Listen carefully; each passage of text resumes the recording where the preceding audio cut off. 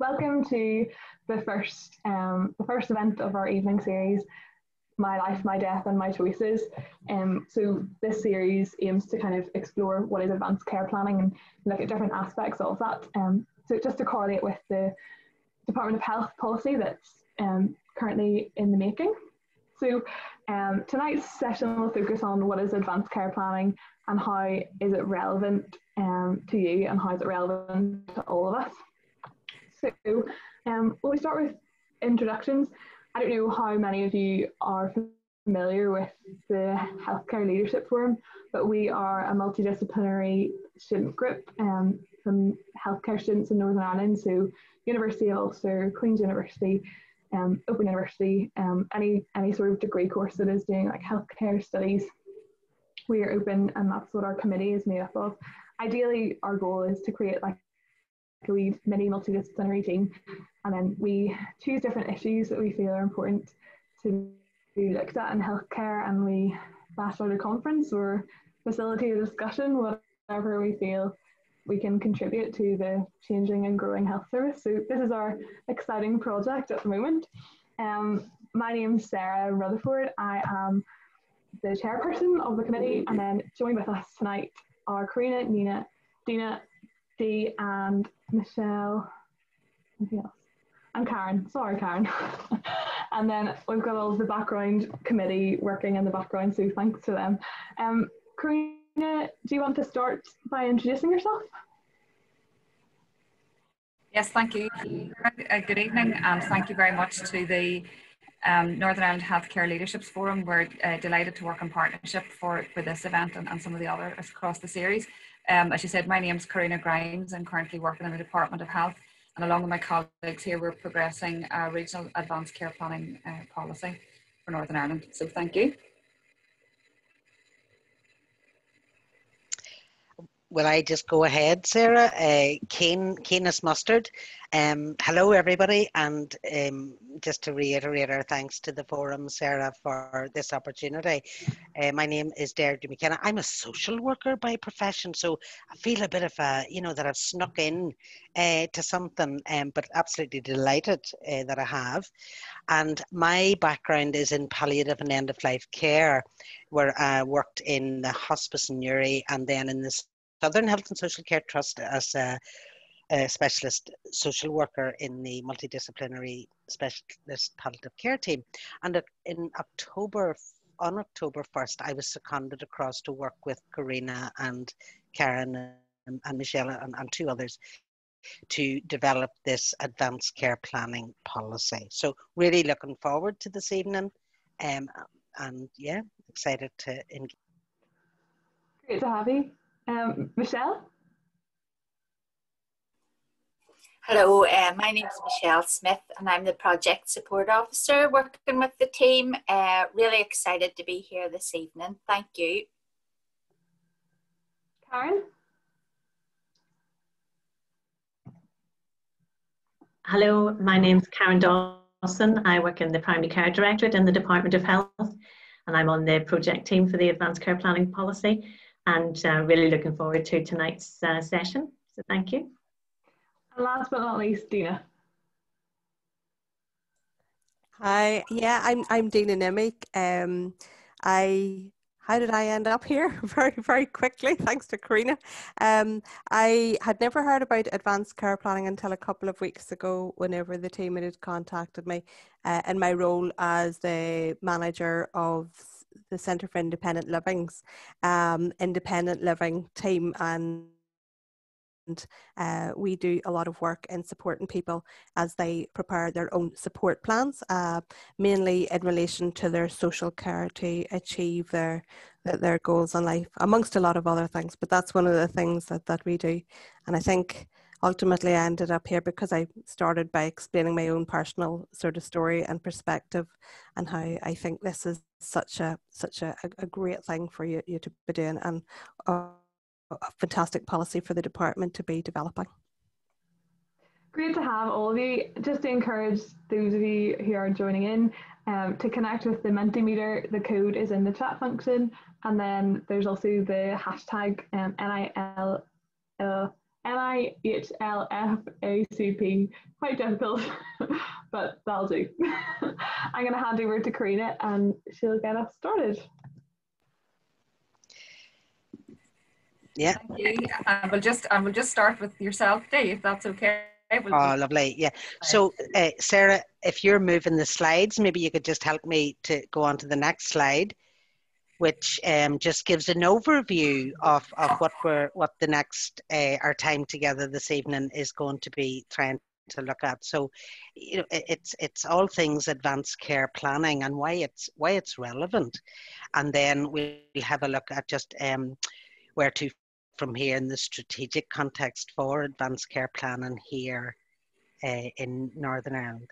So if you go then to the next slide, um, Sarah, for me, please. and I, I, just want us to, to take a minute just to, to, to, to be alert. I want to draw your attention to a couple of things because th that previous slide looked very word. Um, but advanced care plan, because of the nature of uh, advanced care planning, there can be an emotional impact that comes with that because we are talking about things, as you probably gathered from the publicity around this event, we are talking about kind of those core issues of living and dying and what is important to people in relation to those. So for some of us, there may be a personal experience of, of very serious ill health currently in our family circle. Um, there could be maybe a, a, a, more recent experience of, of grief or bereavement. Um, or for ourselves, you know, maybe some of us are, are, are trying to manage a illness or, or, or ill health. So this evening, we will certainly be providing you with with information to stimulate your thinking and hopefully maybe uh, some learning from that. But there will also be an impact on an emotional level for you. And I think particularly as we uh, have the opportunity to listen to Dina talk to us this evening from her experience. So I just want to raise your level of awareness to the fact that it would be really good if you could be mindful of yourselves as we go through this time together. Uh, and, and when I say that, what I mean is um, be alert to any distress in yourself that you're beginning to feel. And if you need, because you're, you're, you're triggered or touched uh, in a powerful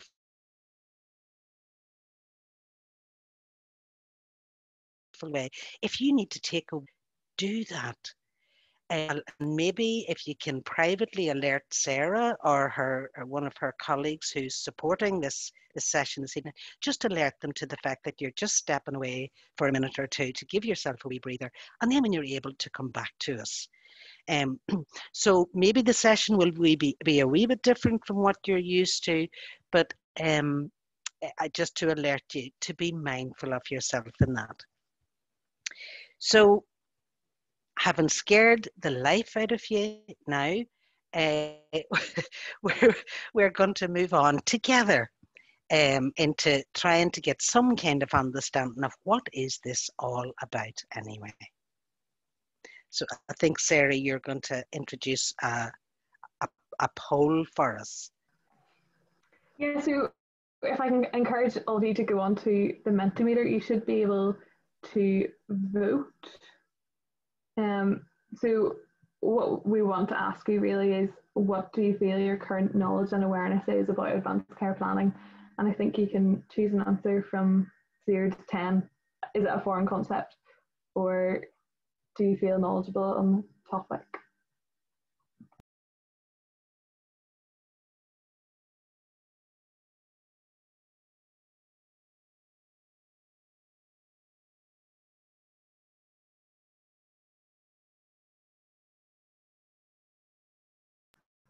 I think I think for me to show you the res- results of this, I think I'll absolutely upscale Victoria's presentation. So I'll, I'll maybe just wait a wee second and then I'll tell you what everybody's at. We're currently sitting at a 4.9.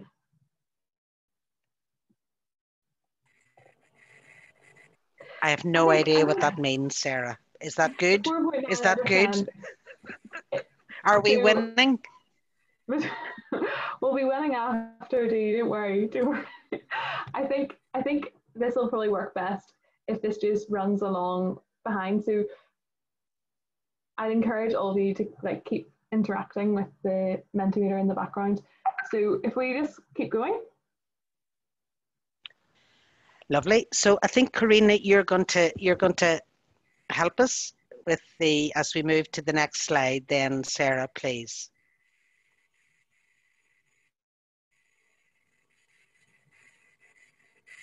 If that is yeah. Perfect. That's great. Thank you very much. So as Dee has outlined, what we're going to do um, is outline advanced care planning. We're going to look at the what, the why, who, when and where. And move on to the next slide. And I suppose the first thing is really the what. So what is advanced care planning? And as you can see from um, some of the promotional materials, we talk about advanced care planning being an umbrella term and it covers different aspects. So it looks at legal, personal and clinical planning that people might put in place um, to prepare for their future for a time when they're unable to make decisions for, their, for themselves. And I think the important thing to stress is it focuses on what matters to people. So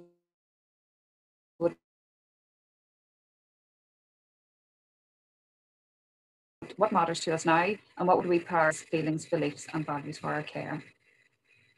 Move on. So as we talked about, and um, Sarah and the team have come up with this fantastic umbrella. Um, and as I've said, over the next number of sessions, we'll be um, today we'll be looking at the wide concept of advanced care planning and some of the policy work. Um, and then the future sessions will um, look in particular at issues around organ donation, um, other more clinically related and healthcare related decisions such as ADRTs, resuscitation decisions, um, and then ultimately we'll come back again at the end of the sessions to um, speak to you all about the advanced care planning policy. So under that umbrella, there's lots of topics and for some people, they may choose to do different elements at different times. Um, and I suppose that's the important thing to say that um, there's different components and we're just going to take you through some of those now this evening. So if we move on to our next slide. So I think the first thing that we're keen to, to state is the principles of advanced care planning. And I suppose these are um, fundamental and core to all of us as individuals and as health and social care um, professionals. I suppose the first thing is to recognise that advanced care planning is voluntary. It's a voluntary pro process, it's very personal to the person and it's about their choices. And we also have to acknowledge, whilst we're very keen to encourage advanced care planning, there's some people may choose never to um, have advanced care planning discussions. And so what our um, aim is really to offer everyone the opportunity. But as I said, it's their choice if they choose to, um, to have those uh, advanced care planning conversations and their choices um, should be respected. I think the third key element is the understanding that people need um, require mental capacity to understand, discuss and make those decisions and to take the relevant actions. And again, these conversations need to be timely and have time, and they need to be conducted with sensitivity and compassion. Because as Dee has outlined, um, these conversations go right to the core, right to our wishes, feelings, beliefs, and values, and really what matters to us. So, by the very nature, we need to feel that we're in a safe and a trusted space, and we need to have time um, to have these conversations. And I think one of the concerns people may have about advanced care planning is the phrase, oh, it's written in stone. But that is not the case. Advanced care planning should be an ongoing process of discussions which should be reviewed at particular points that are relevant to the person. Um, and this sh certainly should be um, revisited over time and people absolutely have the right um, to change their mind. And if we move on to the next slide. So why should we undertake advanced care planning conversations? I think for us, what we find is it, and the literature would support that it ensures people to have the opportunity to have timely and realistic and practical discussions um, and take the relevant actions about where and how they would like to be cared for if they lose compa- uh, capacity um, to make those decisions for themselves. Um, it gives people peace of mind, and as you can see from the quote here, that's reflected um, when we met with um, the Older People's Commissioner, Eddie Lynch, when he said, I think older people would be comforted and have peace of mind following having advanced care planning conversations.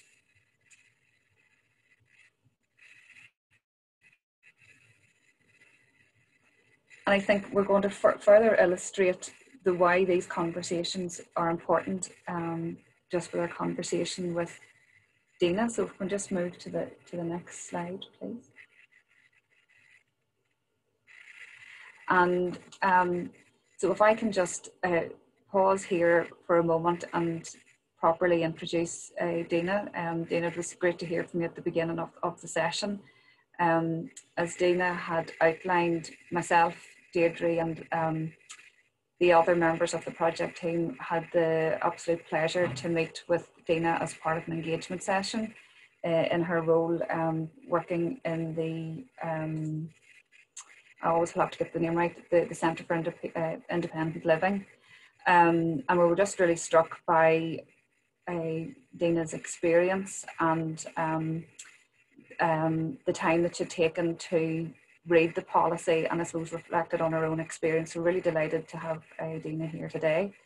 Um, when I asked Dina to describe herself, she described herself as a um, disabled wife, a mother, a daughter, um, and is um, a very dedicated uh, person in terms of her role within um, the independent living, um, independent living Northern Ireland.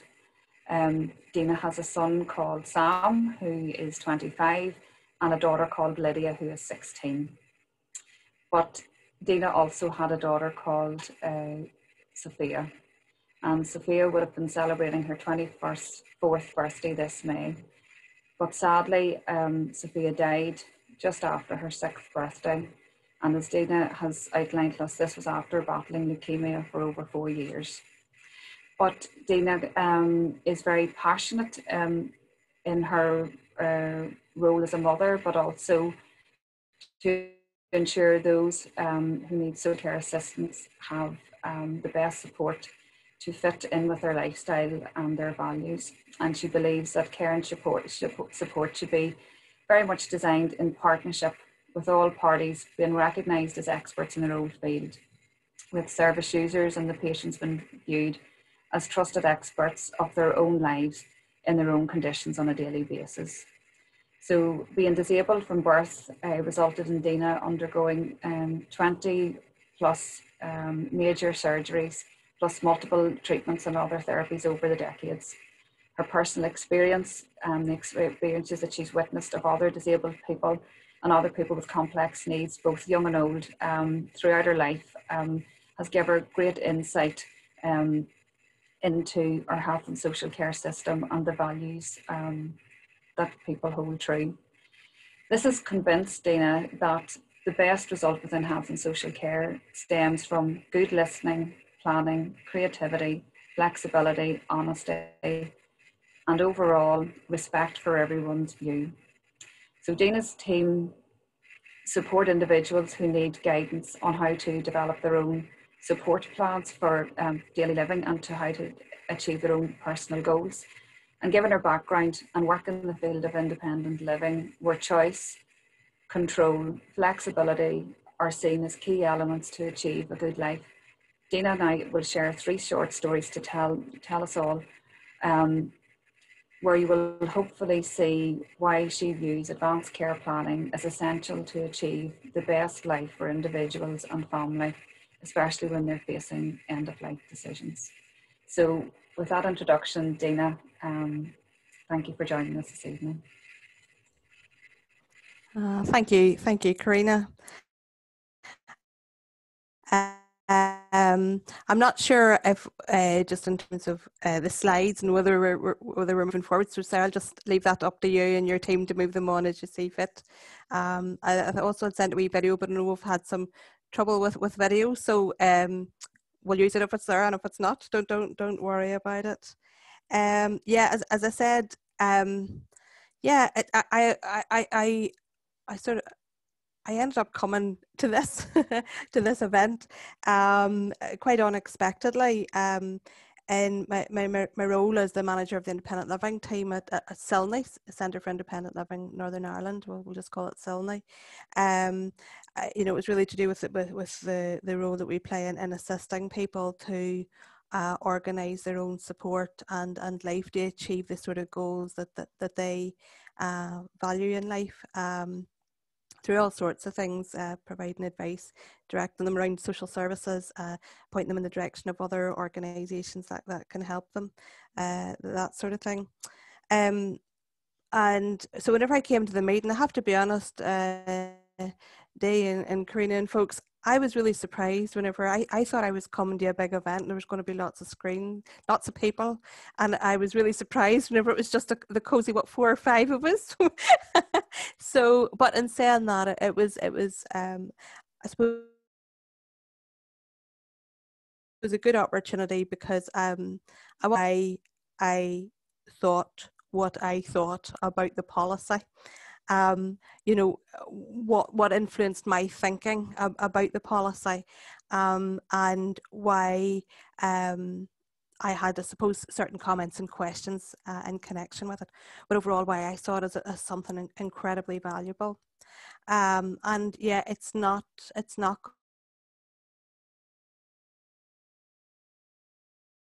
going to be for everyone, but for some people, this. Now, I'm going to tell you three stories.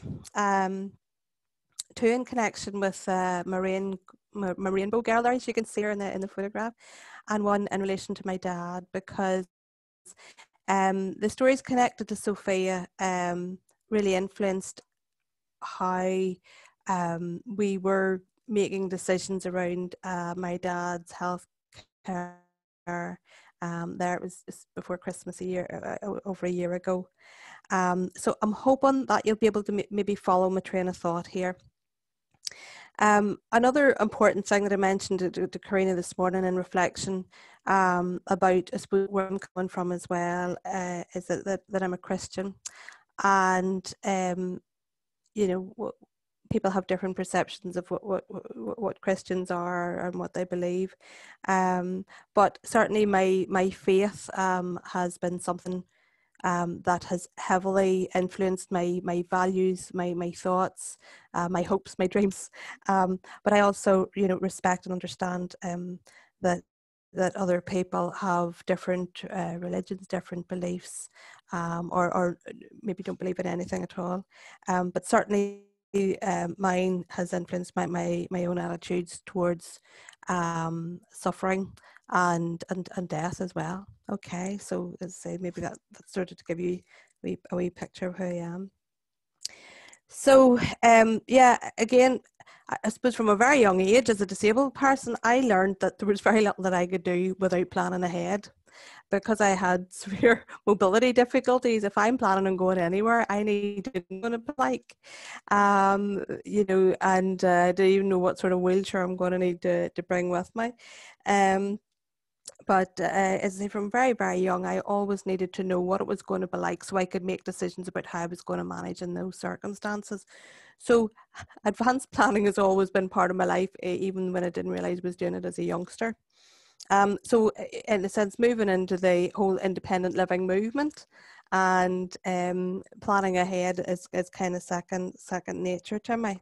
Um, and as I say, that's why I say it. Uh, I, I never really had the, the joy of what is that saying, sort of living by the city or plants or whatever whatever it is, flying with the city plants. You know, you could just wing it. I couldn't wing it. I always had to to have some plans.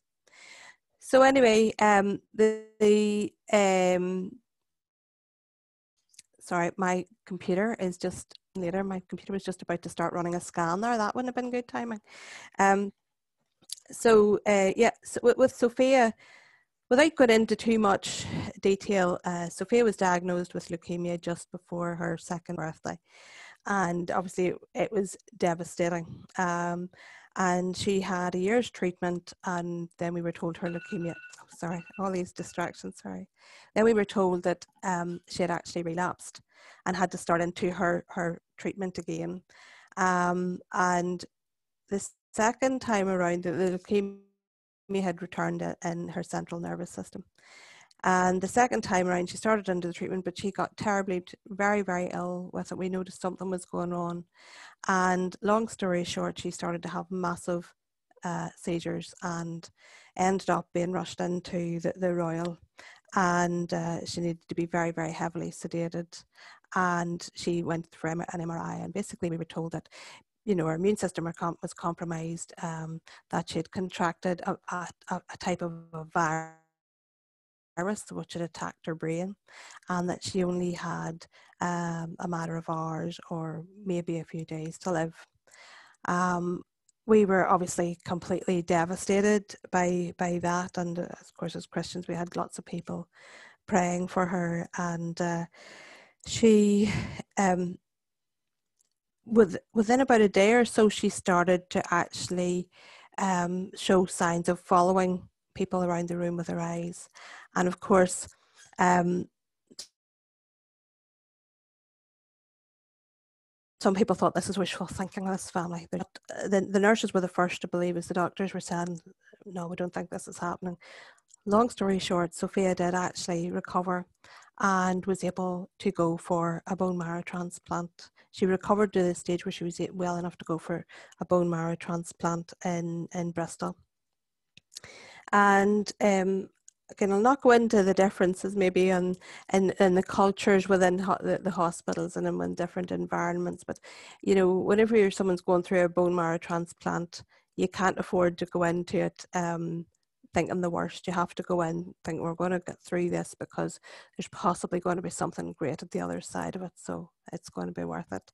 And and that was very much the the staff didn't mince their words whenever they met us uh, prior to starting the transplant.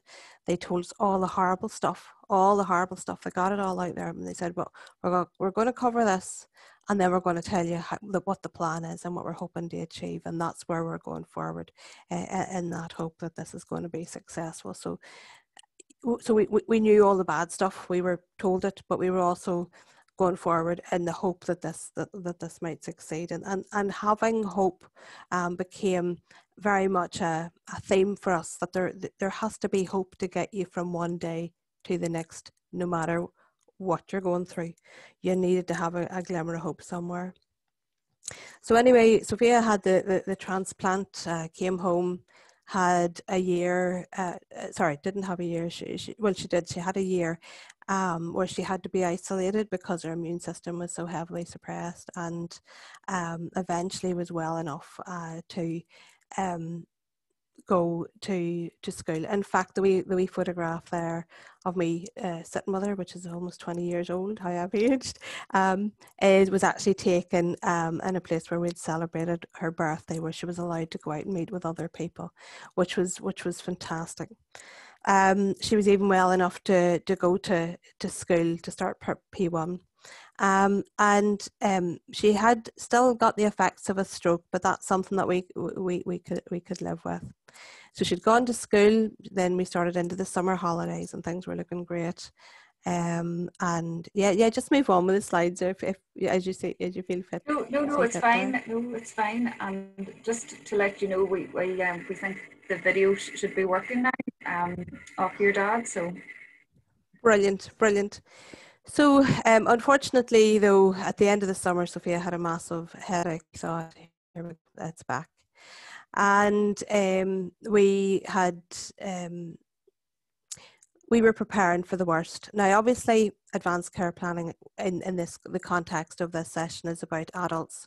Um, but as parents, we were having to make the best decision uh, out of love for our, our, our, child, and we were having to make make plans and make some, uh, you know, very very difficult decisions. So at one point, she had actually lost her swallow um, completely, and uh, we believed at that point um, we'd, we, we um, from the, the first bout of brain damage she'd had, we knew what was involved in putting an NG tube down. Um, so because she lost her swallow, it was do we put an NG tube down again? And on that occasion, we decided no, no, we would take whatever meds that she needed because she was actually experiencing a great deal of pain, um, just to ease her pain and let her let her go. We were we were ready to let her go at that point.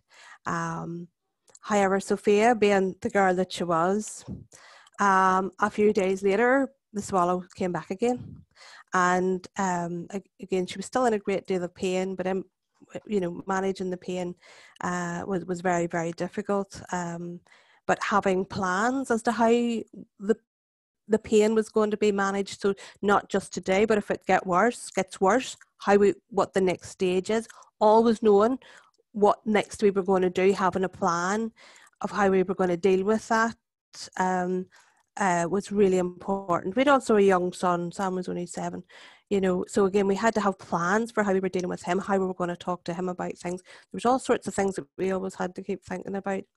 But on that occasion, we decided not to put out in the NG tube.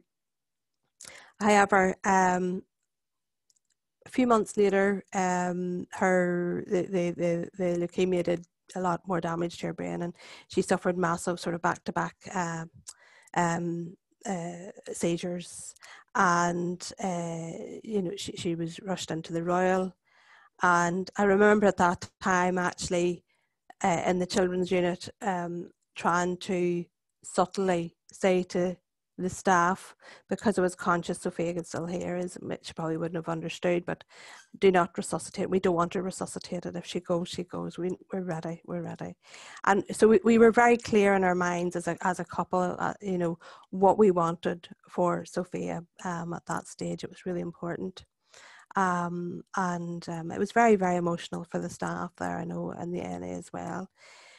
Anyway you know, Sophia survived in, uh, a while longer and was able to go to the Children's Hospice, where she was there for about 10 days before she passed away. But again, we were faced with this question about the NG tube again.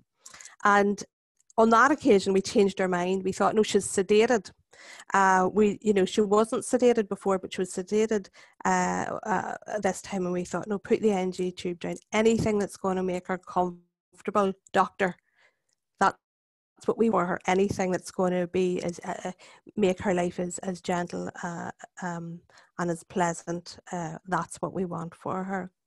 Um, and on a daily basis, we had different doctors that would have called in uh, on on a rota to the, the hospice over those those 10 days or so and each time we kind of had to explain where we were coming from um, what our values were why we wanted sophia treated in a certain way but you know every time we were met with respect and, and understanding. And that was so, so, so important.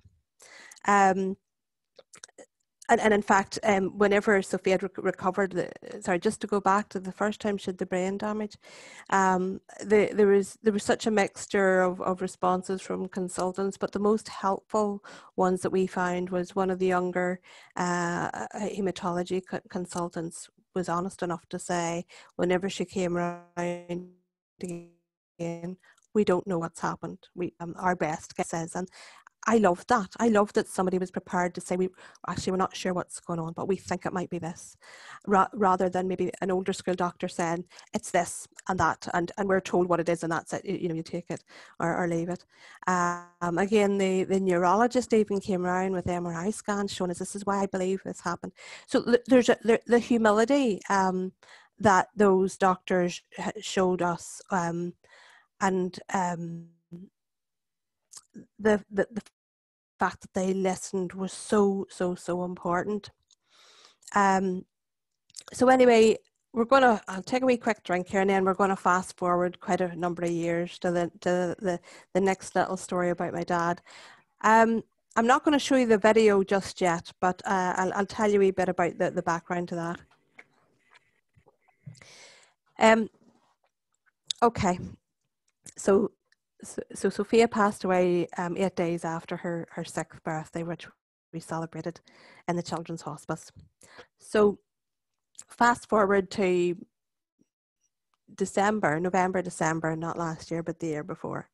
And uh, I'll introduce you to my to my wonderful daddy here. He's in his 80s and daddy cares for uh, my mum, um, who's in her 80s and who's a wheelchair user, um, just through through old age, you know, she's she's gone off her feet. The two of them sleep in the, the living room on, on separate hospital beds, type hospital beds, and uh, Daddy cares for Mummy. And he drives and he gets her in and out the back of the wheelchair accessible car and everything. He's wonderful. He takes care of all of us, and he's in his, he's in his 80s. But Daddy had an accident. Um, just over a year and a bit ago, and uh, with a young rascal of a dog, he, he had a he had a child a gate fitted at the bottom of his stairs, and um, he was he was about to go upstairs carrying far too much, probably knowing dad, and the stair gate um, caught or actually came off in his hand, lost his balance, down he went, and got a real bad bang in the back of his head.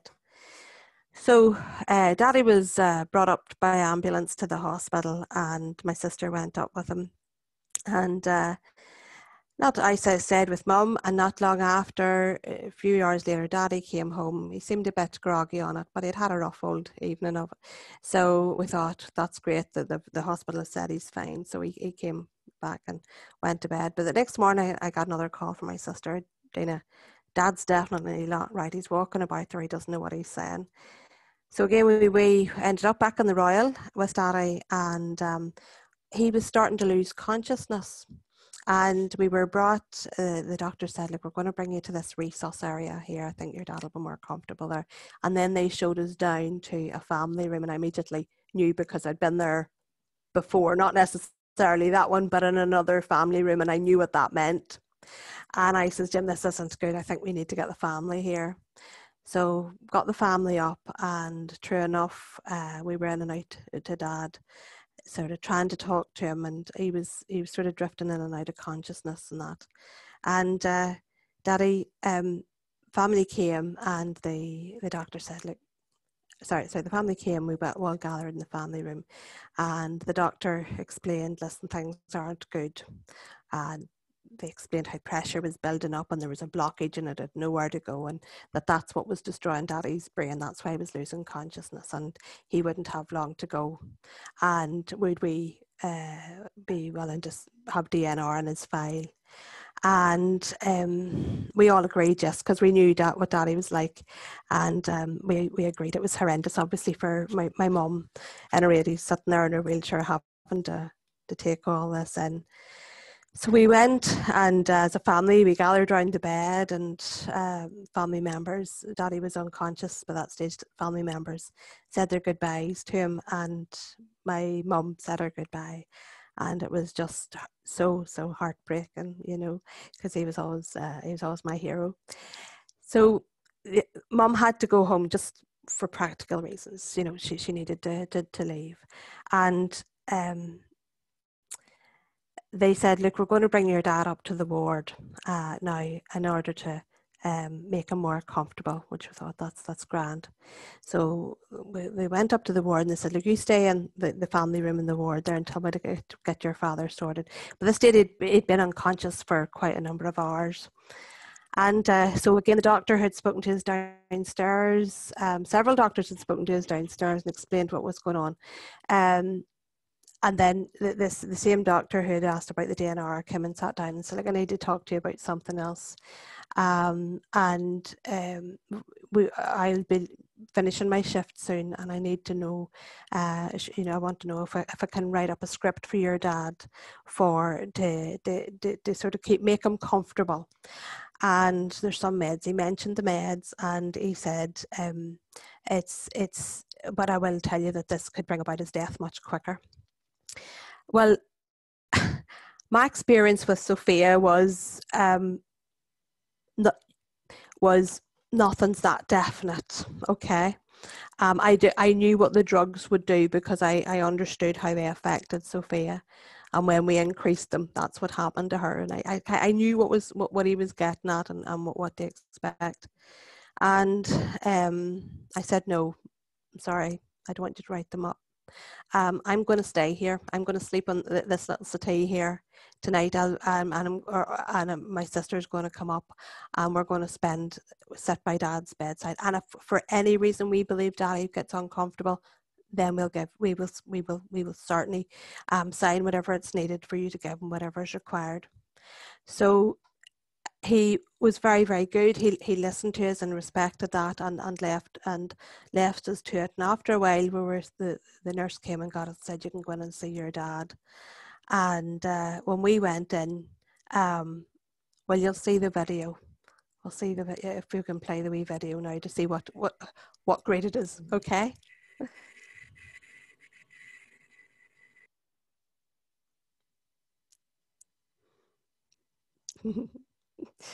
Dad, I must say the word out. give us a wave.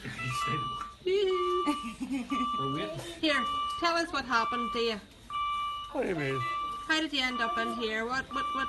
How did you end up with a bang in the back of your head? Do you remember? Uh, let's see. I was going down the stairs. Uh, you, you slipped on the stairs. I got to the bottom of the stairs. Yes. And I tried to get a make a hand with me. Yes. And the gate went. The gate one. I tried to hold on to it. Yeah. I went for down the Was bottom. And down you went. Down you went. And I held on to it. did the gate come off in your hand, Daddy? No, I don't think it I had still had the gate handy and I'm in my hand. I think it says the gate come off or something off my hand. But I know I, I hurt my hand. Yeah, or hurt on here, like Yeah. in here. You hurt your elbow and And all there. too. But I feel my hand. Now be careful with it. Daddy, the see there? Put your arm. I know, Daddy. I know they put something on it. I'm on my broken. No, I don't think you've You broken haven't it. broken it. Oh, Just put it down. Let me see. Look. The fi- Is your, Definitely fi- broke. is your fishing arm alright then? Is your- I look, I have When the you feel fish. Which one's your cast, fishing arm? Have the fish on the left hand. Oh, side. Still cast out. Oh dear, dear. Yeah, so that's that's Jimmy. That's my dad, and uh, yeah, I I- took the video for a reason though. Um, I was worried that at some point, um, you know, somebody mightn't believe what had actually happened, and um, because um, you know, I, I thought, well, I, I don't want anybody giving him meds during the night because that's not part of the plan. I don't want there to be an accident. I want people to know that daddy's actually recovering here. And in fact, at one point, we were taking shifts and sitting with daddy through the night. A nurse did come. Daddy wanted to get up to go to the loo and he was making a bit of a fuss over it in the dock. The nurse said, I can give him some meds that'll help sedate him. And my sister was like, No, no tablets, no meds for him, please. You know, give him paracetamol or something, but that's it um you know so i was i was so glad that we were kind of on guard that that that night but you know daddy got out of hospital sorry the, the next morning um well actually that night uh the, the doctor came to see him again at the end of his shift and I have to say, he wasn't particularly friendly. And I thought, you could at least be rejoicing that daddy's back and he's he's chatting, you know. And I was I was a bit disappointed in his response the next day, um, the consultant came round and seen Dad, and um, you know, was talking about him and said, "Well, well, Jim, there's DNR in your file. Do you want the DNR taken off your? Oh, absolutely, absolutely, take it off. You know, and uh, you know, and I, I, I said to him, you know, doctor, what happened here? What's happened here? And he says, I don't know. I says, what do we do next? He says, I don't know, because it's a bit of a miracle. I've never seen anything like this before, so I don't know what to tell you and what to expect.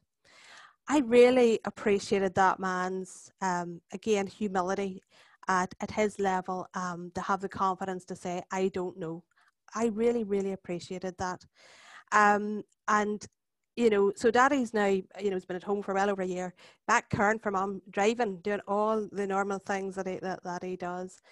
Um, but because of those experiences, coming back to the advanced care planning, um, you know, I thought it, it's so important that the individual themselves feels as in control of their circumstances as, as they possibly can, that their wishes are res- listened to and respected. Um, and if they can't speak, but others who, who know and love them really, really well, that they're their views are listened to and respected and written down, um, recorded somewhere, um, so that people know that it's definitely there. Nobody's going to forget anything. It's all it's all in one place. Um, and again, you know, as well as for the individual who's receiving the care to give them maximum control over their own lives. Um, the family also have to, I was very conscious, families you have to live with yourself afterwards. Whenever there are decisions that are made in those circumstances, the part, the part, the people who survive and live on have to live with those decisions for the, the, the rest of their lives. So as much as possible, whenever the decision, whenever these decisions are being made, the the respect for the person and what their views were and how they lived and and how they maybe taught other people to live, um, you know, should should be taken into consideration. So yes, um, this I just think this is a, a wonderful um, a wonderful piece of progress that's been made with it, made within the department to really highlight it, um, because poor decisions, rush decisions, um, knee-jerk decisions that are made um, quite often can lead to a great deal of heart heartache afterwards, and that's something that everybody wants to avoid. Do you mind if I ask? Um, did you would you have had any conversations as a family um, prior to that event about sort of what your your dad would have wanted in that situation? Um, do, do, you know what? Actually, one thing that Daddy once said, he, he, Mommy was always changing the decor of the house, so he was always up a ladder, wallpapering or painting. And he said to me, You know, love, the way I'd love to go is I'd love to be hanging a bit of wallpaper and the wallpaper slither down the wall and me slither down with it. What Daddy wanted to do was always to be as active as he possibly could until the very end. You know, so the idea of, uh, you know, keeping Daddy uh, sort of uh, you know, we were very definite about the DNR because we thought Daddy's such an active, active man. He will not want to, to live if he can't care for mom in the way that he does.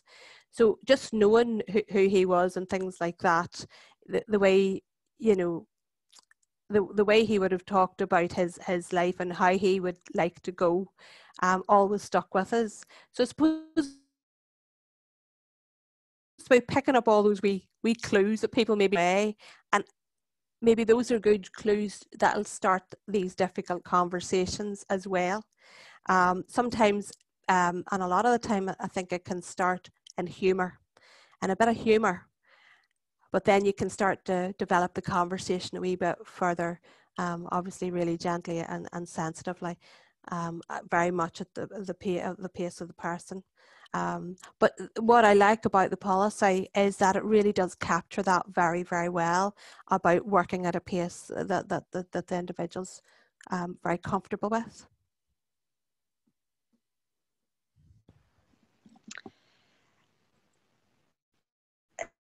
Sarah, I'm conscious, um, and and Dina, that you know some people are are keen uh, to have a few questions or to uh, a couple of participants who have raised their hands.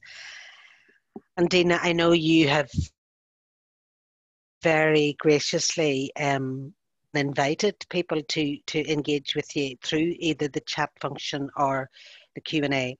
Um, I, am just going to check with the participants who have their hands raised. Um, to check with them, would it be all right just to hold their questions just just for a few minutes, even just for a minute or two? Um, and I'm hoping they can indicate that, or else I'll just presume presume their consent in this regard. Because Dina, I, I, I want us just all of us just to take a minute or two just to honour what you have shared with us uh, in opening a window into your life and into your story. Um, and just to, to thank you sincerely for the gift that that has been to us tonight. Just so grateful to you, Dina. And of course, the other thing, Dina, that I'm really conscious of and tried to alert people to at the beginning of the session was that, you know, for some of us, it may actually have touched our own stories, our own experiences, um, and certainly would have touched our own hearts. So I, I again just want to invite us to take a minute or two, to take a minute or two, and just to hold that awareness um, that you have brought very much to the fore, and just to check in with ourselves, each of us, to see how we are. Um, and just to be very, very gentle with ourselves if there is any any wee bit of, of distress or um, discomfort in ourselves for that. So just just to, to honor your, your what you've shared, Dina, but also to honor ourselves just for a moment. And do allow yourselves just to breathe in and breathe out.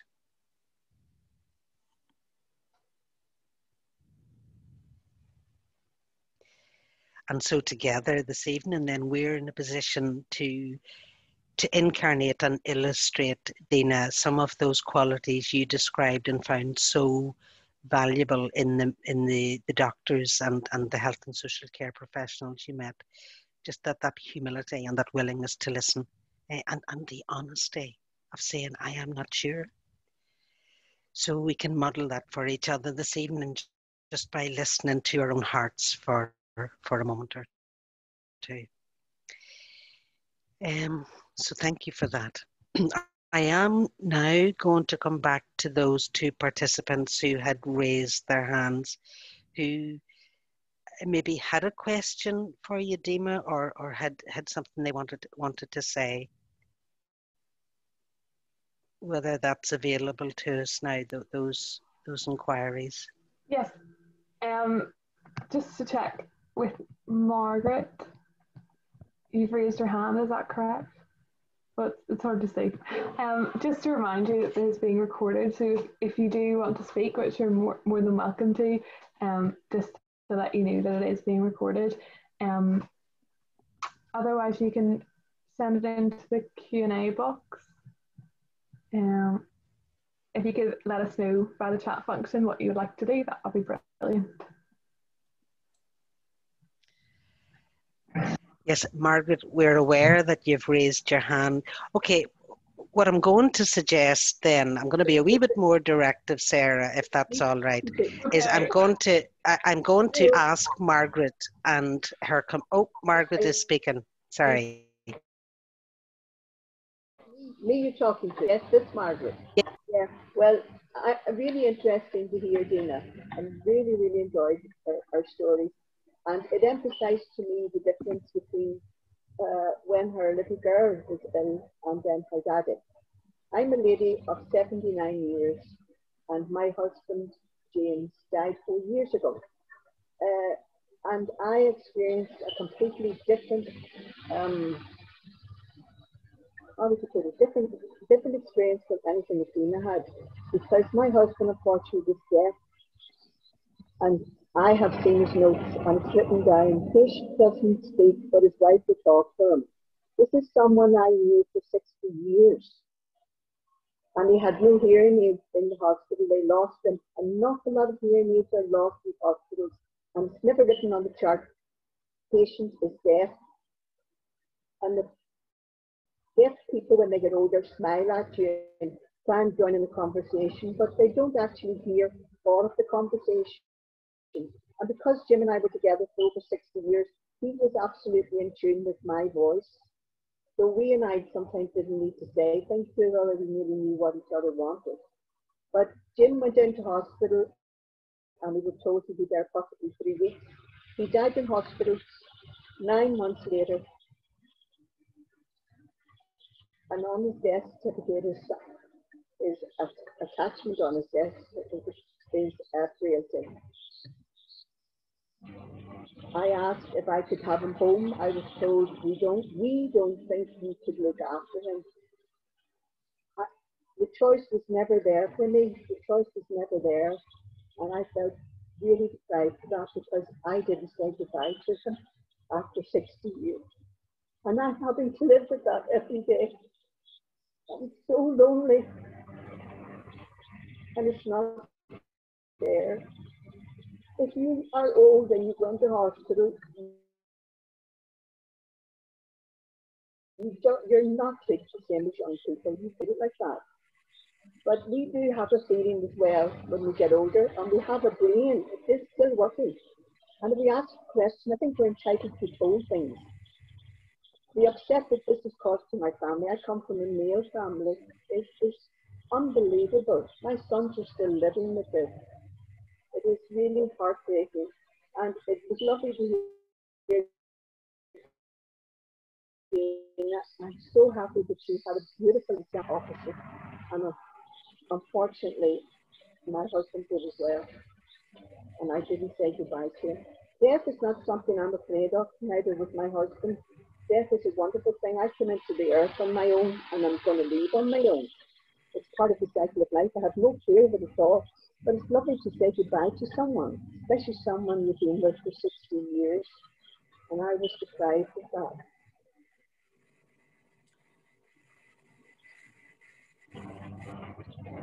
Margaret, um, I'm not sure, Dave, can you, you I, I, just wanted, Margaret, um, I'm just sorry to hear your experience has been so difficult and so painful. Um, and it's definitely something that we will be happy to, to pick up later on this evening or tomorrow if that's you. Because I think there's, and, and, I think you have very positive things to say as well, um, and key messages that we want to hear and make sure that it's incorporated into the work that we're doing. So, would you mind then if we contacted you um, later this evening or tomorrow just to follow up on some of these things that you've raised? Yes, no problem at all. No problem at all. Um, so I'm just going to look to Sarah to make sure that we have um, Margaret's we, details. We'll get that offer if that's okay.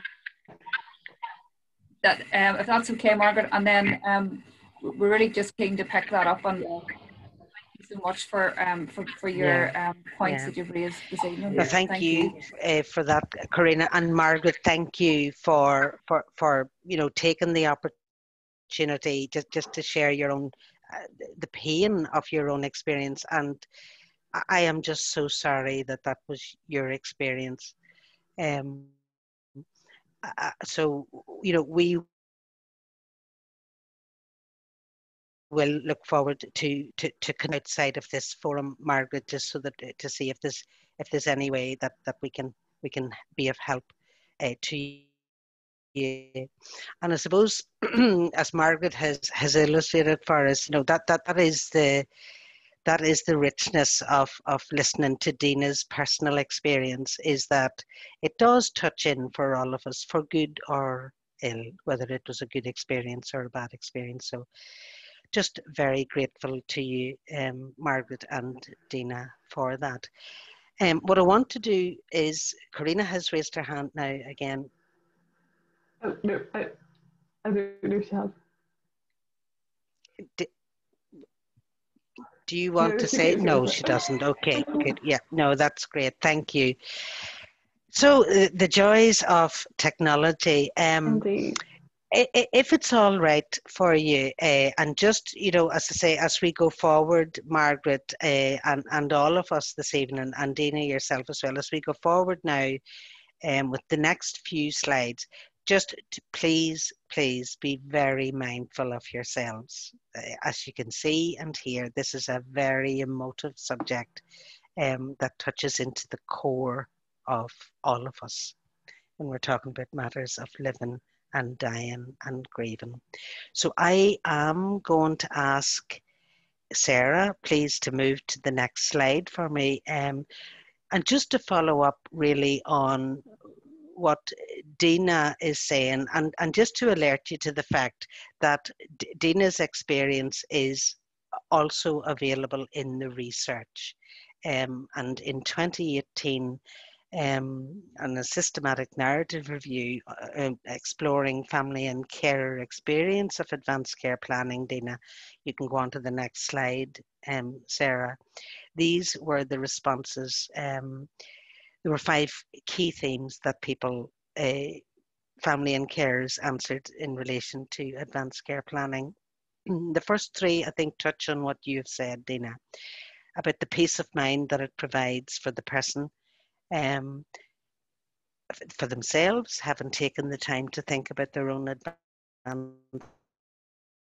care plan, and that even some of the would have described that it helped people themselves prepare to die. And Margaret was, was saying about, I have no fear of dying. Um, I am ready to die. Um, so there is maybe a, a you know um, thinking about and planning ahead can certainly help us with that. Uh, the second theme then was about just the autonomy that you described as well, Dina, but, about me being in charge of my own decisions and my own uh, the, the choices I wanted to make in keeping with my values.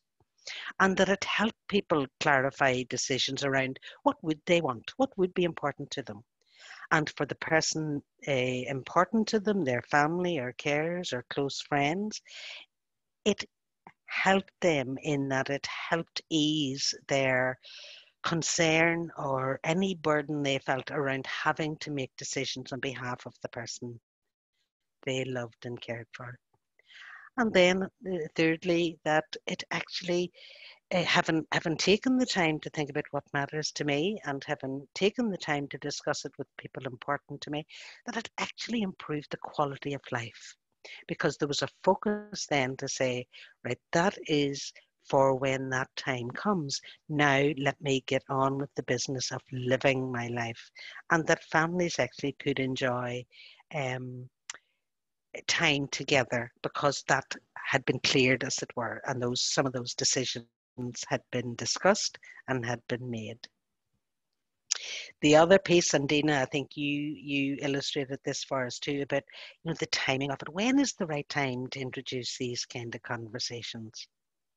And it is very much um, determined by the readiness of the person. We will we will talk a wee bit more later on about about some of the prompts maybe to help us, but the timing is very individual to the person, and just to be alert with this. And I suppose what is very useful for us, the rest of us who who are are um, present tonight, is that that those um, that system systematic narrative review, the research described, according to family and carers that a lot of health and social care professionals had a very poor awareness or knowledge of advanced care planning. And where they did know something about it, um, they felt themselves that they lacked the confidence in broaching these, these um, issues with people for fear of causing distress for fear of causing distress. So that's why it's wonderful this evening in the forum that um, the next generation um, of health and social care professionals and clinicians are tuning into this really important um, type of, of planning ahead at such an early stage in their career. So thank you for that. Um, I am uh, Sarah. You can take hit the next slide for us, please, and I'm going to hand back over to to Karina. Thank you, Sarah. and Thank you, Dee. So the next question really is who should um, you know go through the process of advanced care planning and i suppose the easy answer is all of us um, it's important to us all irrespective of age whether we have a condition or an illness or not um, and as Dina had mentioned, the work that we're progressing, the draft advanced care planning policy is for those adults aged, aged 18 years and over, and so that will be inclusive um, of all adults. Um, I suppose none of us can be sure if we'll always be able to make our decisions for ourselves. And again, when we listen to, to Dina talking about Jim's story, that's a really classic example of how going out and about in your daily business that um, you know something can happen um, that makes you unable to to make those decisions for yourself for yourself. So again all of us should plan um, and look at having those advanced care planning conversations.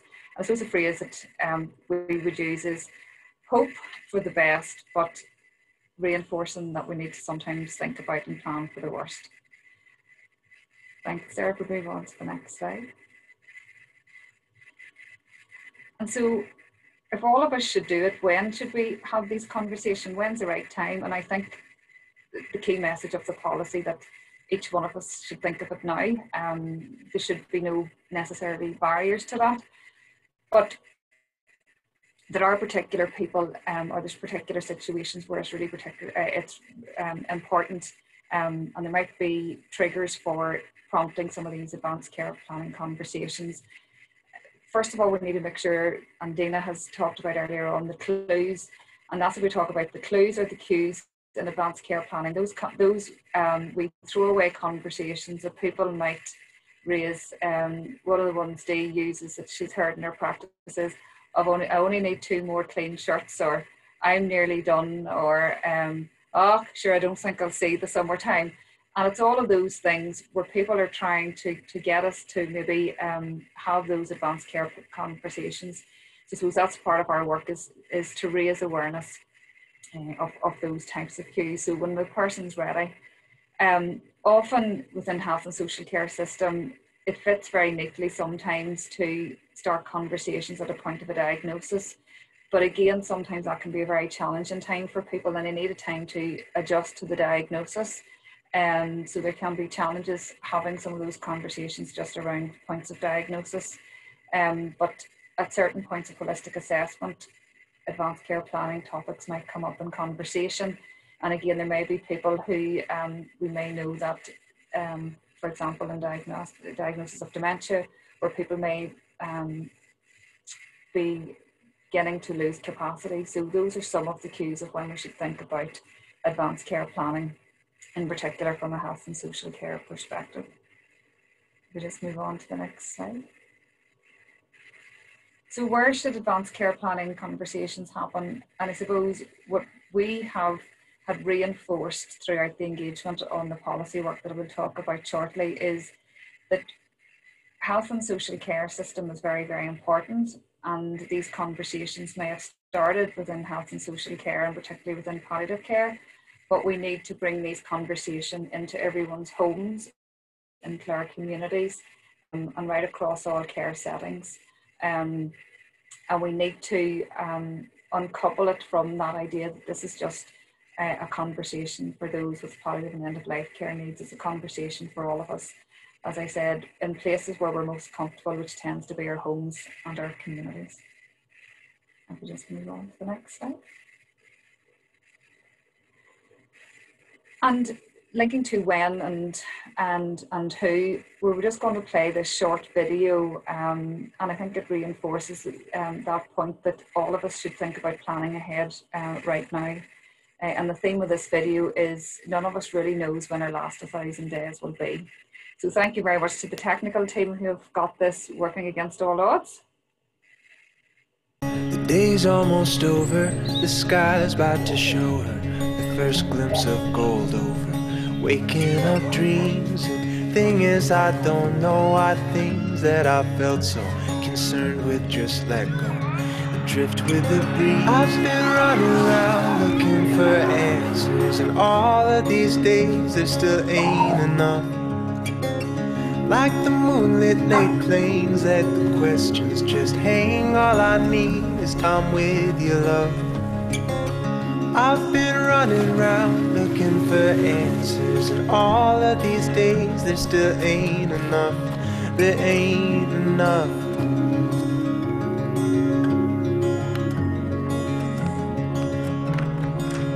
Time with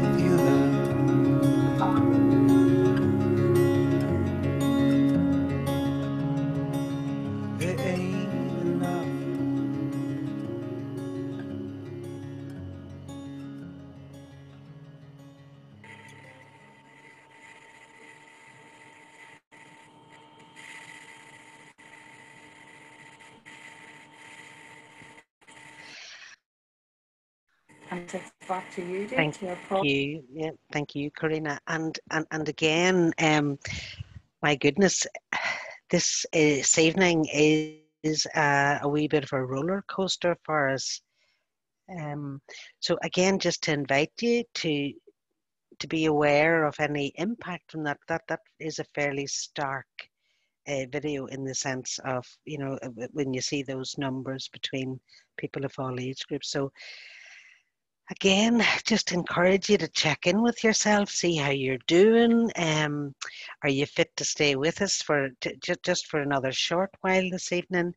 Um, have you had your quota for this evening? Um, do you just need a wee break?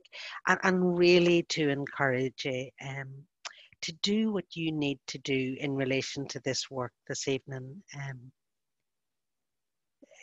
very, very gently for those of you who are able to stay with us and are able for another few slides um, as, as we, we wind our way onward on this, this kind of roller coaster this evening uh, from head to heart, to head to heart, to head to heart. Um, for those of you who are able to stay with us, we're nearly there. We're nearly there. So Take a few deep breaths, put your feet on the ground, hold your hand to your tender heart, and we'll try maybe just stepping nice and gently onward for these, these remaining slides. Sarah, please. I think it's I think it's really interesting how it it becomes so much more than a policy when you actually think about it. Like everybody has experiences, personal experiences of of end end of life care, and it's not even just end of life care. It's it's things that happen unexpectedly throughout our life, and we don't know what the future holds in any way. Like that video of a thousand days, that's just one aspect of it. So I think it's really important to remember that there's a personal aspect to it, and that's what this policy is trying to capture and everybody's personal experiences and how we can make decisions based on what everybody what everybody's choices are. Yeah, yeah. And and thank you, Sarah. Thank you for that that reflection. I, and and it's also important to think, and I want to just go back to, to something that Dina said, and again it was reiterated in the in the um, in the research, is that you know for, for any of us just to take that pause and consider our own mortality you know and, and then maybe have a conversation with people we care about or people who are important to us or, and, and maybe begin to write a plan. Once we have done that then our focus is very much on living. So it's not a case of us having to start going through our lives with our nail our knuckles trailing off the ground you know, with any kind of morbid fascination that, oh, I'm not long for this word.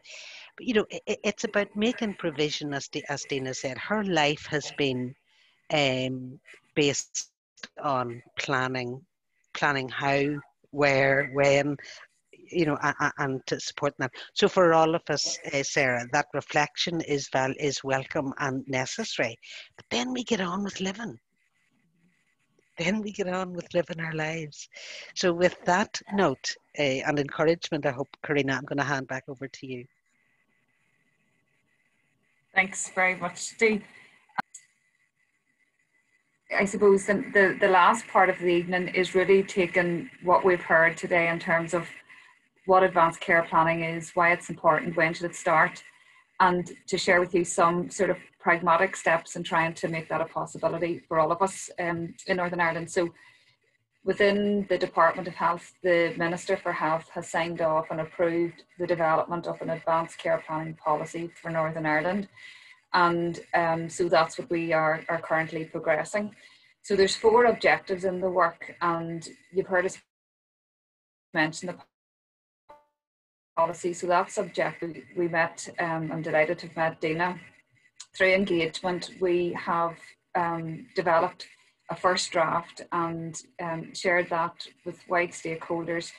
So with um, members from different organisations, with um, community and voluntary sector organisations, with academics, with educators, with regulators, with people from um, the deaf community, people from um, RNIB. So try to get a real good breadth of engagement right across uh, Northern Ireland to, and I suppose wider than that as well actually to understand um, how can we make this um, policy as robust as possible.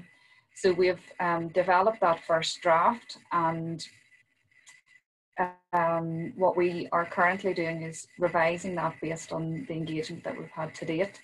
Um, and I know in later slides we'll mention, we're really keen to have an engagement session with yourselves and with other uh, members who want to join one of um, a forum later on in the year, on the 7th of, of April, um, to share that second draft of the policy and, and to have a, a, a particular engagement session on it. Um, and then the policy after that phase will go to public consultation. So that's really our first objective, get a really robust policy, um, a public facing policy for, for um, all our, our people who, who live right across Northern Ireland. The second objective then is we need to take the policy and develop um, clear guidance for health and social care staff and also public information about advanced care planning um, so that we can distill all the principles and values within the policy into something tangible and something that we can implement um, at grassroots level and at individual level right across um, Northern Ireland and within our health and social care system. So that's objective two. And if we just move to objective three in the next slide. So I think events like this and other events we'll plan will help us to develop clear and consistent messaging about advanced care planning and some of the myths and misconceptions that there are around different elements under that umbrella of advanced care planning. Um, because what we want to do is ensure that there's correct information and it's standardised and it's um, right across the health and social care system. Um, and we want to make sure that practice is standardised as well um, so that um, the experience that Dina has shared um, and that Margaret shared, hopefully there'll not be such a, a, void and a difference going forward that there will be good practice right across um, our, our health and social care services and within our communities. And so that takes us on then to the last objective was around training and education. Um, and I think that's been mentioned earlier on. So we need to make sure that staff, Dee had mentioned it earlier, we need to make sure that um, staff feel confident and competent to have these um, complex conversations um, and to have the skills that, that Dina has outlined in terms of um, that ability to listen, that humility, and be able to um, understand that um, things change. We don't know all the answers, but how to uh, manage those conversations sensitively and compassionately. Um, so that's the fourth objective then of the work that we're doing in terms of looking at the training and education. And again, it's wider than our health and social care trusts. It's looking at GPs, hospices, community and voluntary sector organisations, and really anywhere where people will be having these types of advanced care planning conversations and supporting people to have those advanced care planning conversations. Dee and myself and Karen, Michelle, Craig and, and Seika are working on at the minute. A, a small but uh, beautifully formed team that, that um, are, are, working well together. So that's our four objectives uh, for the policy work. So we move on then just to the next slide. Is really just what I've mentioned. Where are we going to, what are we going to do from here? So we'll we're currently revising phase two engagement sessions, and as part of that engagement, we'd really be keen for um, everyone on this evening to to join us again on the second or the seventh of April, uh, and maybe bring a few friends as well um, along with you, so that we can have a proper engagement session on the next draft of the policy, um, because that will really shape how advanced care planning will be implemented and rolled out across Northern Ireland. So, so that's here, or where we are to from here, actually. That's better. And then the next slide, Sarah, guess, is I'm just guess, guess who? Guess who? Every time you see that rose and, and the hands, you're going to be saying, oh, it's your woman again.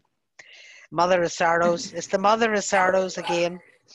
Um, just while while uh, we're holding this slide, um, I know that in the background, Sarah and her her her fabulous colleagues have set up another a interactive piece, which is I think the word cloud this time, Sarah. Um, and it's it's where you're you're been invited just to, you know, if there's anything you learned. Um, can I just alert you in this trigger alert that you see if any if you say you learned nothing, you are so far. Um, so really, see see let's see. Um, So Sarah is going to, to, to let us get a look then at what this word cloud looks like when you have inputted your words. It's it's not a word cloud just yet. This is like a wee, just like a wee 250 character kind of what you've maybe picked up, something you want to highlight or or saying, and then we'll move on to the word cloud. Oh, brilliant. I know it's it's a work in progress, Sarah. I, I appreciate that. Uh, I'm just trying to apply a wee bit of pressure uh, to you. That's all, Yeah, you know, just yeah. because because you've been kind of, you know, just uh, riding along there for a while. So really looking forward to seeing this what this uh, word cloud comes up with, and then I w- w- when we get a look at this, I will be happy to come back to that that uh, holding slide again. This is all very exciting, isn't it, to see these words come up? Yeah, it's great. Is this what Sarah? Just forgive forgive me. Is this what people are typing in? Are they inputting those things, or Yes, yes. So if you if you go on to menti.com and type in the number that's in, it should be in the chat multiple times. Um, then you have an opportunity to say what what your thoughts are and comment. It just just makes it a bit more interactive, which is good. Oh, that is so good. It's it's hard to kind of present both presentations at the same time, and it all Yes. gets a bit confusing. Yeah. But we'll iron out the iron out all of that for next time. No, this this is. I, I I'm just reading, and can I just thank people who are has the patient driven, not doctor. Yeah, I'm just reading some of these fabulous um, responses. Be great if these are in tweets. that it, yeah. matter, it matters to those left behind. Difficult conversations can be made easier with the right skills, and I think mm. Dina was a was a terrific a terrific um, advocate for that, or, or and illustration of that in her in her sharing. Mm-hmm. Unique to the individual, absolutely. How important is relevant to all of us. Not associated with the end stages of life. It's about living securely. Isn't that fabulous, Dana? I see you nodding there, living secure. Eight. Oh, bring good. I think I think everyone has this fear about talking about these sorts of things because they think that means it's going to happen. Actually, I've I think my perspective on advanced care plans it's not just about putting a sticker on it. It's actually so so much more than that and so relevant and it just empowers patient choice even when they maybe don't have capacity anymore, but it's still their choice and they've maintained that throughout their life. Oh wow, that that is fabulous.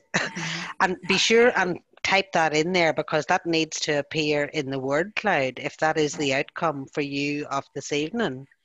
Um, that is open this work, Karen and and Michelle and, and Karina and Dina. uh, Indeed, we we will be sitting smiling to ourselves, saying, "Well, my goodness, if if if oh, this is just this is just fabulous. While that is all happening uh, in in front of our very eyes, the other thing I wanted to come back to because I put a pause on it uh, partway through um, this evening was questions. I'm conscious that there was another participant had her hand up, um, and who wanted maybe to ask a question, uh, but to engage with Dina in some way. So, can if that participant is still with us, and if he or she would still like to either ask their question, and if they would post that, or please raise your hand, ask in Q and A, or you see, and the word becomes flat before our very eyes. So. Please do feel free uh, because I don't want anyone going away from here scope that ask their question. So please, please do take your opportunity there. this takes a wee while to build, Sarah, doesn't yeah, it? does. I'm actually going to move on to the next one. So still keep keep inputting, but I think I can't remember what the next slide is to be honest. But we'll have a look. No, don't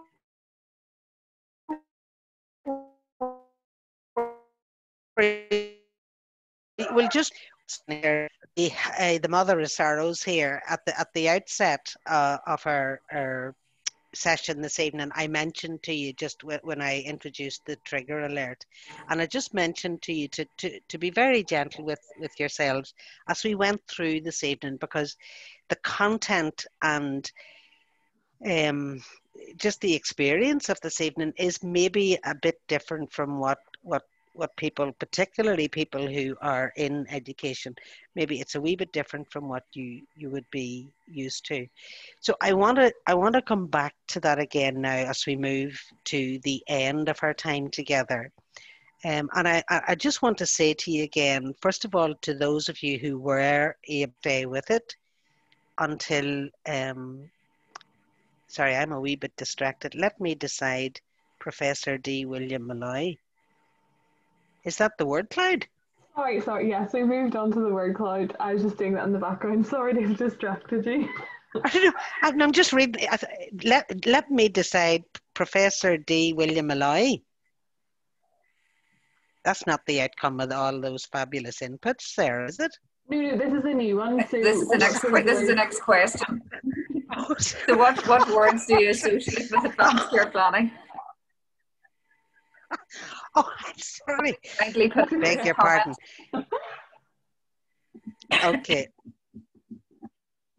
Can we hide that again just for a minute, uh, Sarah? Because this, this is this is this this wee bit is important as well. Yeah. Just just for a minute. Um, so going back to that triggering piece uh, and saying that uh, as we we move toward the end now, is is we were able to stay. That when we finish together, please do go very gently this evening because there is still within us the impact of what we have listened to and what we have shared from both Margaret, who, who joined us, and uh, of course from, from Dina, who, who was with us from the beginning. So just to be mindful that that can that can stay around with us for a wee while. So, you know, after we finish and you go about the rest of your evening, just very very gently um, do something really restful for yourselves. Um, nothing too taxing, I would say. And um, if there are those of you who are students, if there are professors or academics waiting on assignments, tell them I said no, not this evening. So no homework for this evening. So let me just check. There does seem to be a question in the chat. Dina, this is for you. Dina, did you experience with your daughter make you feel more empowered to make decisions about your daddy?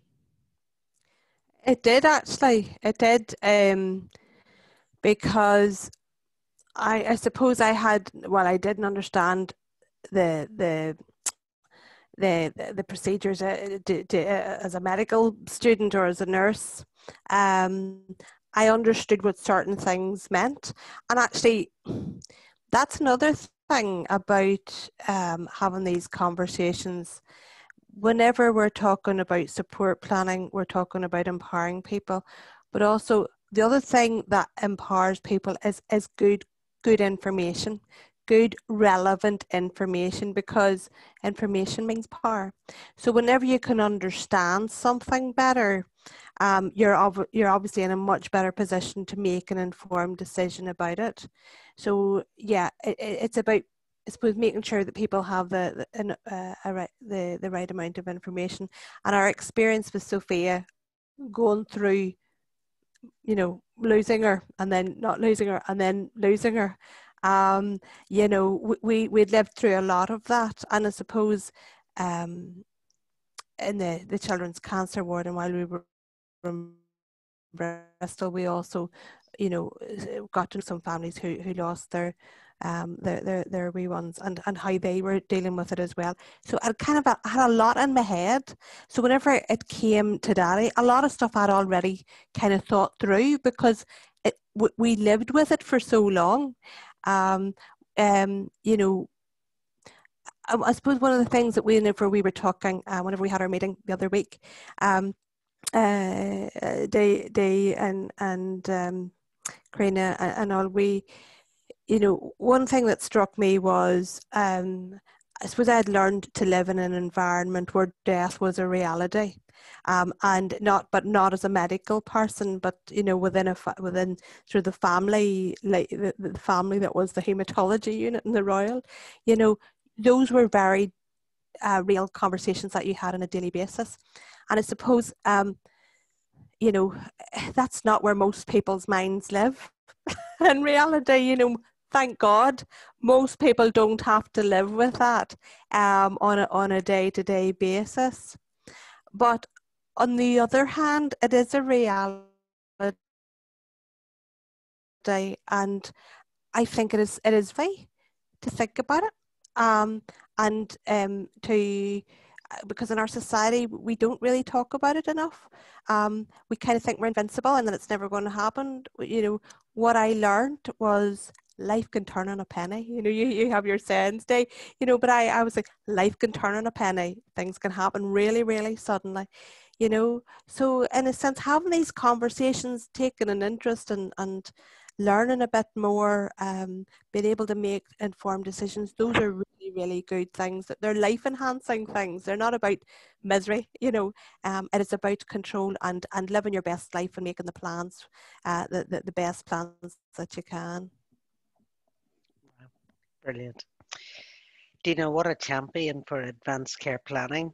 Um, and I can assure attendees no money has been passed uh, to Dina prior, during, or nor will it be after this event for, for all the positive things she's saying about about this policy development. I don't see any other Q&A then in the question. So Sarah, we're ready for the big reveal of the first word cloud, which is, is this what people have learned, Sarah? no. No, it is, it is, yeah, mm, it's kind of like thoughts. So we, we initially did a word cloud at the start. What sort of words do you associate advanced care planning with? Now, I can potentially go back to that one and we can compare, but you'll have to bear with me. No, this is lovely. No, no, please Sarah, this is lovely because this is what words do people associate with advanced care planning? Yeah. And just look at that, Dina. Do you see all just what you've just said? Remember humor, fabulous. Holistic conversations, process. It's actually interesting to go back to the word cloud. I know maybe not as many of you would have Oh, you mean at the very beginning? Brilliant. Yeah, yeah. this will be good. Yeah, let's have a look. Let's see. Where is it? Here we go. Oh, look at that. So it's, it's very different, actually. There's a couple of beauties in there, though. Do you see that? The, the holistic, dignified contentment. Mm-hmm. Process, funeral, yeah, that's a mixed bag, isn't it, at the at the outset, Sarah? And then can we just flick to the to the end one again, just yes. to see this? Yeah, not gone too far. Oh, we've reached the end. Wow, look at that. I wonder, is it possible for us to capture that that that picture in some way, just Sarah, for our uh, when we go on the road again? Yeah, no, I've got that all, all saved. I'm doing that in the yeah. background. So I just wondered, did everybody get a chance to see all the answers tonight um, to all the other questions and polls if we had time just in conclusion? Yeah, we we could go through it. Yeah. Um, let me just see. What can you, see on my screen at the minute? The word cloud. I, I can the last see the word last word cloud. But it's maybe just me. You know when you have um, well, I put it tonight, but when you then put it, you're just curious to see what the overall. No, absolutely. I think it is good to go through. Right. Okay. So oh, there we are at the start.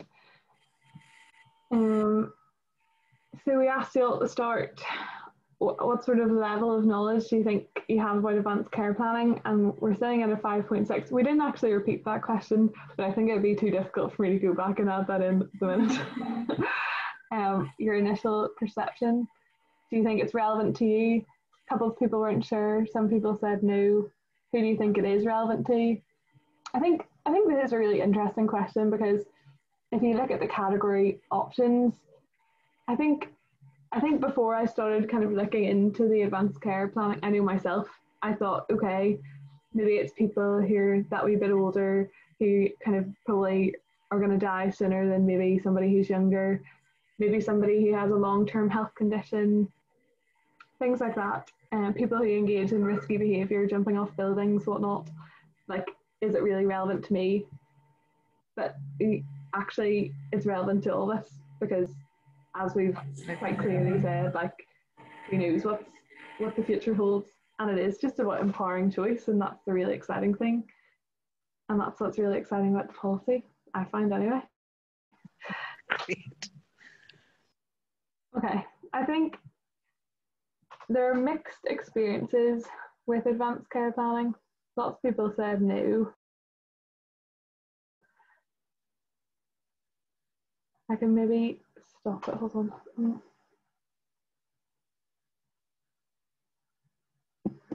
Well, that's great that there's people are coming to our needs, so that's really good. Mm -hmm. Have people um, join us this evening, And then, what was it? What have we learned? So I think that's kind of gone through everything and stuff like that. Um, that, that is brilliant. So finally then, just before I hand over to Karina Grimes, just to, to, to uh, last, last, last, just again to remind us all, nice and gentle this evening. Um, for all of us, uh, that that was a fairly uh, powerful session because of of I think the, the the power of a personal story, Dina, is just so rich um, and it touches us and it can stay with us and margaret's margaret's um, personal experience as well it's just so painful. So gently gently for the rest of us this evening and uh, gently gently to sarah and your industrious team there behind the scenes who were going pale male uh, from 20 to when we when we met you from 20 to 7 until 7 o'clock and then it all calm face well done you. Thank you for that. So over to you, Karina, then just to just to close. Yes, and I and I don't want to hold up anyone um, any longer this evening because as Steve said, we all need to go and get that cup of tea and um, go gently with ourselves. But I want to really thank the uh, NI Health Care Leadership Forum and um, Sarah has been so helpful over this uh, sh- short but very productive period.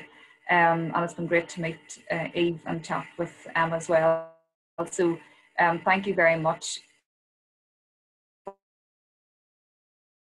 for um, having the vision and the leadership um, people sometimes unfortunately shy away from. So um, I think the future is bright in terms of health and social care and um, when we look at um, the the calibre and the, the vision of the, the four members coming forward. Um, so really just wanted to say thank you. I want to just outline to people too that this is one of five in the series and I know Sarah might want to mention um, the next series. Um, and again, just to make a plug for ourselves for the 7th of April time, it would be really great to have you back to have your views in terms of, of that policy. And again, you'll get a copy of the draft policy in advance and um, we'll go through an engagement session um, just to, to, to get people's views. So um, Thank you very much, everyone. And I'm just going to pass over to Sarah. Thank you for your time. I just wanted to say he contributed to tonight. It was really exciting and to see all the work that's going into this upcoming policy. And of course, the most exciting part is that this is not the only night. There are five others, ending with the one that was mentioned on the 7th of April. So that's that sort of evening will probably be a wee bit more informal I know is a bit restrictive in that you can't really see everyone else, but we'll work something out and make sure it's nice and interactive and you can contribute to what do you think the policies should include and how we can better facilitate patient choice throughout their life. So um, I'm just going to share my screen one more time. Honestly, I've got that many tabs open.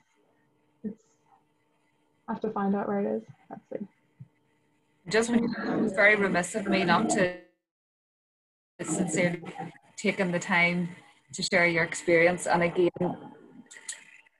you've done it so graciously and without any um, bother. So thank you very much, Dina. Yeah, thank you so much.